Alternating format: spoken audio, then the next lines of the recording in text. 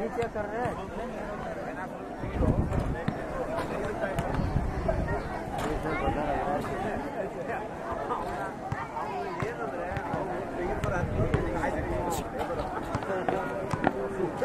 Suitcase ಒಳಗೆ ಏನು ಬಂದು ಒಂದು ಕಾರ ನೋಡ್ದ ಮನೆ ಒಳಗೆ ಮಾತಾಡ್ದ ಮತ್ತೆ suitcase open ಮಾಡ್ದ. ಅದನ್ನ ಯಾವ್ದಿದೆ